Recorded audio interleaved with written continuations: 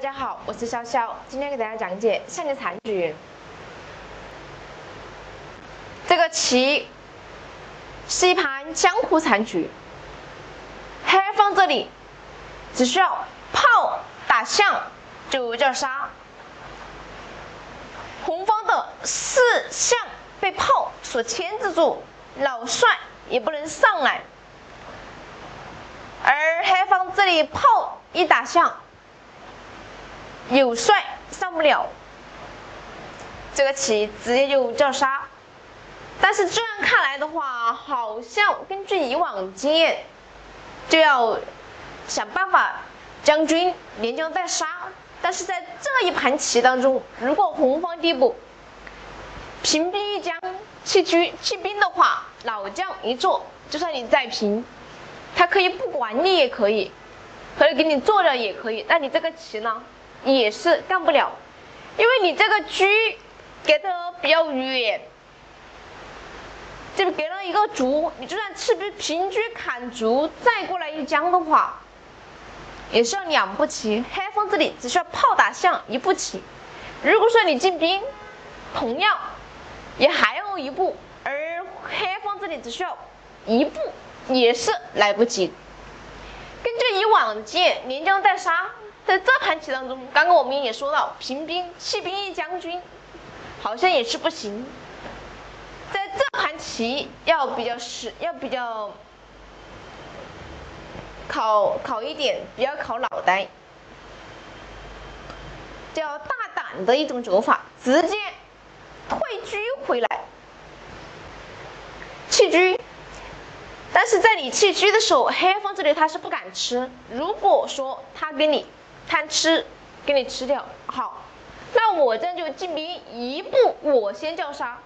而你呢，这里车砍失，我再上来。那你这个棋不管怎么着，你也是弄不死我。而红方这里只需要平兵一将，绝杀无解。所以根据这样的一种情况来说，黑方这里是不敢吃，但是你不吃我，我可敢吃你。所以黑方这里只能说是炮打象一将，等我上来之后，刚说了你这里不敢吃，你吃了我给你做的，你进兵，我可就赢了。那既然不敢吃的话，如果说不敢吃，这里还不敢吃，他想能不能推炮呢？推炮回来拉住，但是你推炮拉住，那我就进兵，我下一步棋一样的。这里好像黑方还可以退车。来抽掉我这个兵，但是你退车回去，我就可以车吃炮。就算你把这个兵一做好，那我在我这里再把炮，再把我的车一升，再不平车就杀。不管你是进车还是平车过来吃兵，那你这个棋都守不住我这步棋。所以黑方这里他是不敢。是不敢推炮回来拉着住，而只能说是车砍掉我这个车来换掉，换掉以后，再老帅做掉。经过这样的一番交换呢，红方这里下一步棋仍然是要进兵，那黑方这里双炮能不能守住这步棋呢？黑方当然可以守得住，他可以直接退炮回来。红方当其他的棋棋也没法走，只能说是进兵。红方一进兵，下步平兵过来就叫杀。黑方当然会摆个中炮，等你再一过来，那我这里再炮给你打掉。炮打掉以后，然后你兵拱掉，老将给你做，那么这三个子力都没有，而红方有炮卒。这个棋完全是可以胜，那你黑，那黑方有炮卒，完全可以胜。你红方仅有单兵，肯定也胜不了这个棋。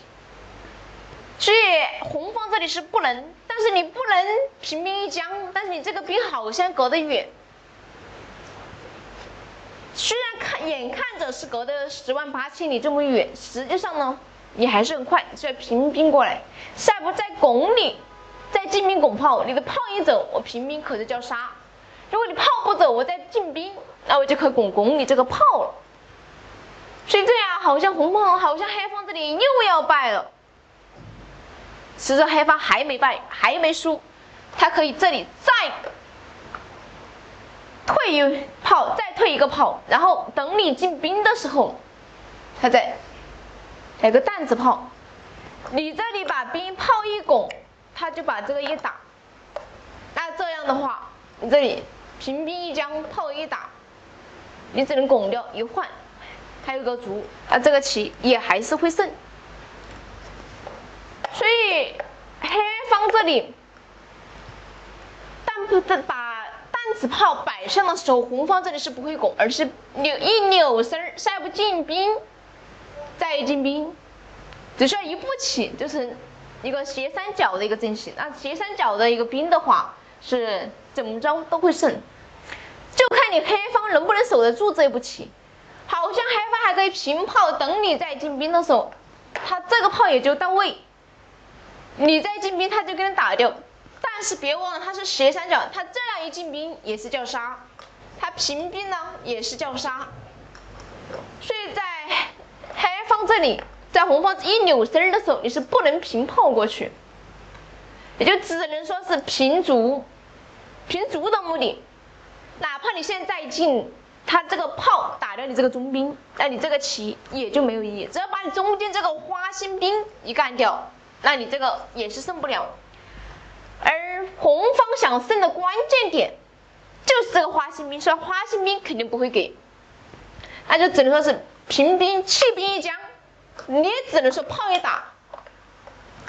那这样一来的话，我的这个棋，我花心兵可就保住了。那我这里再进兵，下一步同样一进兵也是叫杀。黑方呢？想要解杀，也只能说是先平一步炮过来一将，等你真帅以后，好，他就可以再退炮回来，来守住这步棋。你红方现在你也没有其他的棋可以走，如果你一进了吗？你进兵叫将，他炮就给你换掉。如果你不进兵叫将，你把兵往旁边走，那你也胜不了啊，你只能说是把炮一拱。炮拱掉以后，下一步棋同样平兵过来，再进兵也是叫杀，但是黑方这里他不会给你这个机会，他会赶紧平卒，这样你的兵不能过来，而不能过来红方呢，这个兵也进不了，但是红方他可以平帅，下一步进兵。这个棋就可以借将助攻一将，你平将再一将叫杀，所以黑方这里只能说是平将，等他一平将好，我这里再进兵，下一步一进兵，这个棋就叫杀，所以黑方这里也只能说是平炮或者平卒过来挡，如果他平炮的话，那他也会败，被我这里平兵一将，你只能平将，那我再一进兵，下一步一扭身直接叫杀。所以黑方这里是不能平炮，只能平卒。那你这样再一将再一将，他一过来，你这里再一进，那同样他这里你不能再平兵，你平兵过来炮打掉。所以这也就是能平炮过来挡，而是只能平卒过来的目的。